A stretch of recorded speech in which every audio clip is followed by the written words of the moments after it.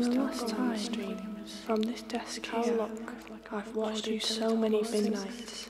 The last then, as now, on the river from sad friend, paths of the mountain. You rose over books and papers. If only I might walk upon mountain tops from your beloved light. So with spirits through the mountainous caves. Real heaven, you wander across the meadows in your twilight. Here I am. Here I dare to be human.